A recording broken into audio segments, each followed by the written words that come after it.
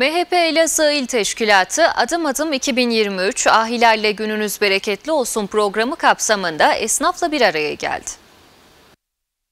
Milliyetçi Hareket Partisi Elazığ İl Teşkilatı Elazığ'da seçim çalışmalarını sürdürüyor. Bu kapsamda MHP Elazığ İl Teşkilatı Genel Merkez tarafından başlatılan Adım Adım 2023 Ahilerle Gününüz Bereketli Olsun programında esnafla bir araya geldi. Programla esnafın sorun ve talepleri dinlenildi, destek istendi. MHP Elazığ İl Başkanı Yunus Bal ziyaretleri sonrası yaptığı açıklamada güçlü bir Cumhurbaşkanı ve güçlü bir Milliyetçi Hareket Partisi olarak yola devam edeceğiz dedi. Bölgemizin esnaflarıyla hemhal olduk, dertlerini dinledik, desteklerini istedik.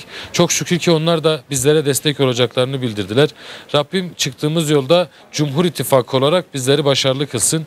Güçlü bir Cumhurbaşkanı, güçlü bir MHP olarak inşallah yolumuza devam edeceğiz. Tekrardan teşekkür ediyorum katılım yapan arkadaşlarımıza.